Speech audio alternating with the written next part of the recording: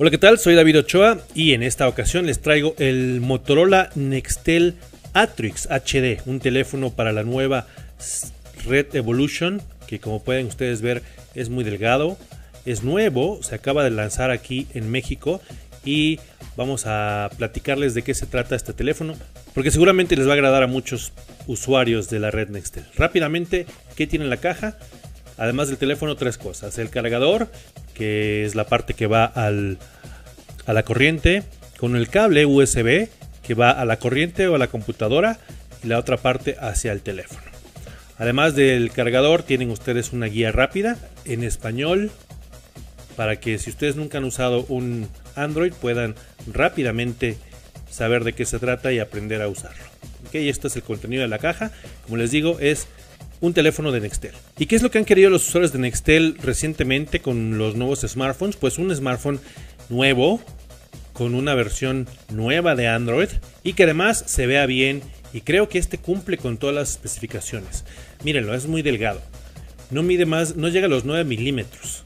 Es de la serie de Motorola que tiene fibra Kevlar en la parte de atrás tiene la versión más reciente de, Android, que es la Jelly Bean 4.1. Tiene una pantalla de 4.5 pulgadas HD Color Boost y está recubierto con Gorilla Glass, es decir, que si ustedes están preocupados por las rayaduras, no tienen de qué preocuparse. Además, tiene protección anti-salpicaduras. Si le cae algún líquido, no tienen más que limpiarlo y no pasa nada.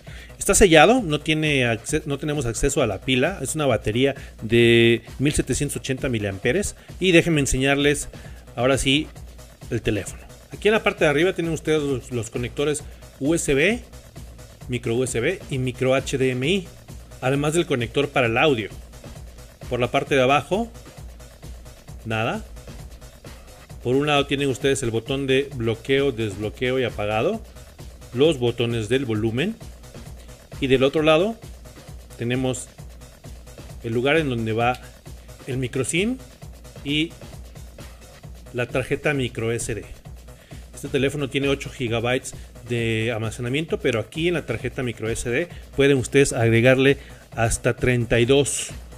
Una tarjeta de 32. Por la parte de enfrente tenemos la cámara, una cámara frontal y ya los botones son táctiles que ahorita que lo encienda eh, van ustedes a verlos.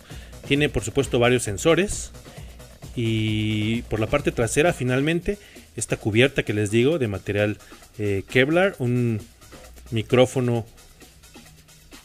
cancelador de, de ruido y la cámara principal que tiene capacidad de grabar video en Full HD y fotografías de 8 megapíxeles. Tiene su flash, bocinas, etcétera.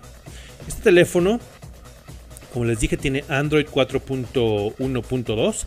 Desde la entrada pueden ustedes irse directamente a la cámara, al teléfono, a los mensajes o nos metemos directamente al sistema.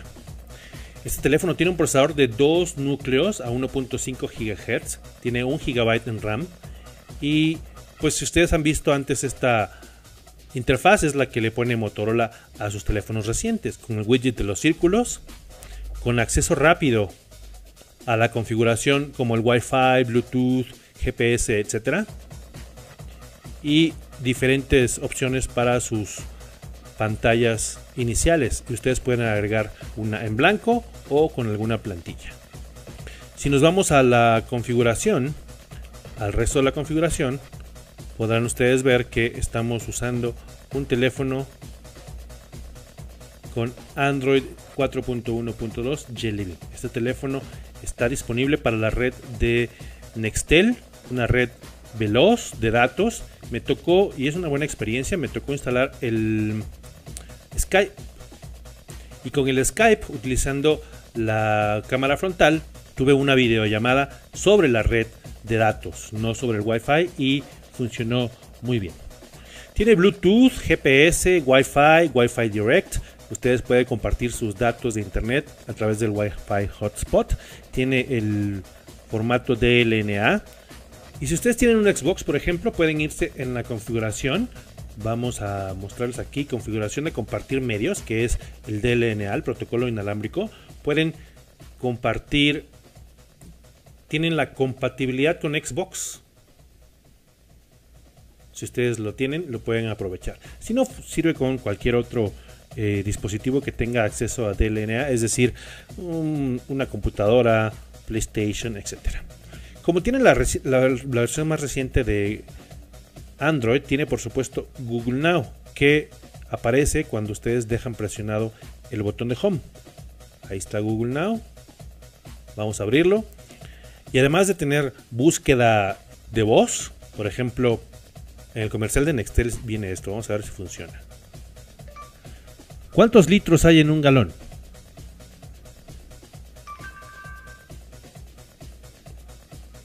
Ahí tienen la respuesta, 3.78 litros. Ustedes pueden utilizar esta opción del Google Now o pueden ustedes ver las diferentes tarjetas que les da información acerca de sus redes sociales, el tráfico, la ciudad en donde viven. Aquí, por ejemplo, me, dice que hay tres personas con cumpleaños el día de hoy. Me, dice la, el clima para hoy también y me puede informar también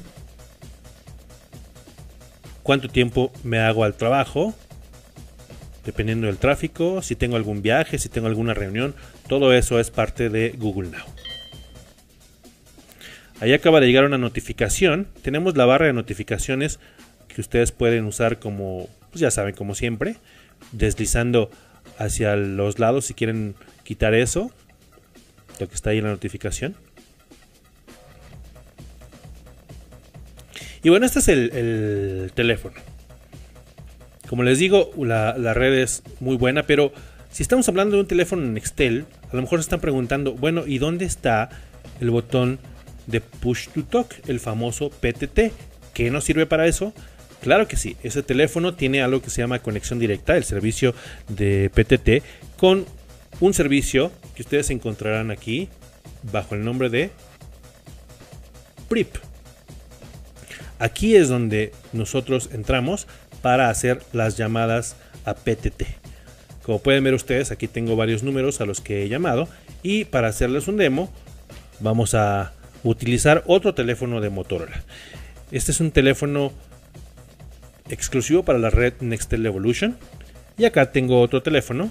Este es el Motorola Iron Rock, que tiene red IDEN y red Evolution.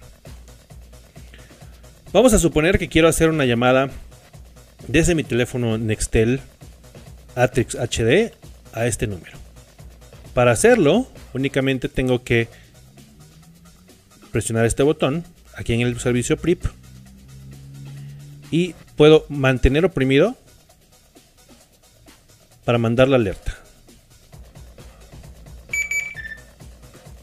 ¿Vieron cómo recibió la alerta?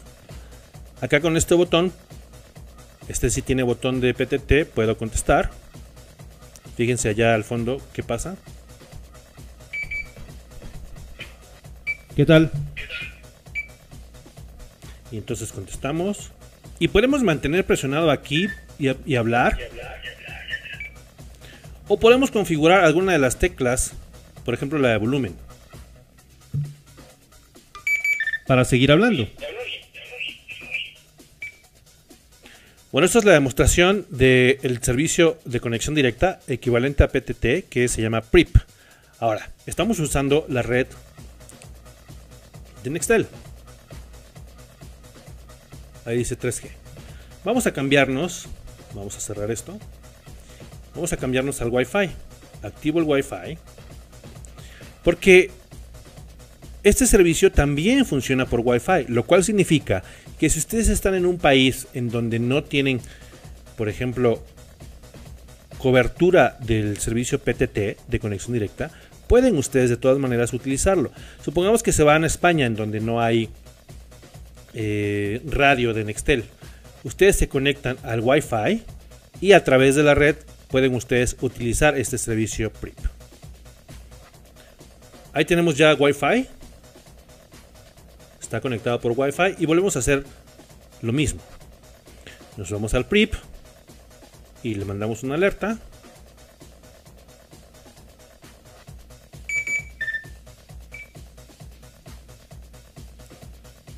Hola, ¿cómo estás? Todo bien, muchas gracias.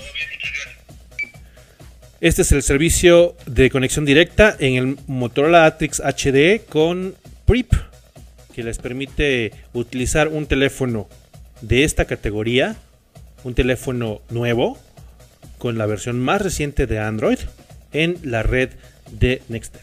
Además de lo que ya les enseñé, tiene Smart Actions, tiene Swipe y pude utilizar sin problemas, como les dije, el Skype, el Waze y es un teléfono.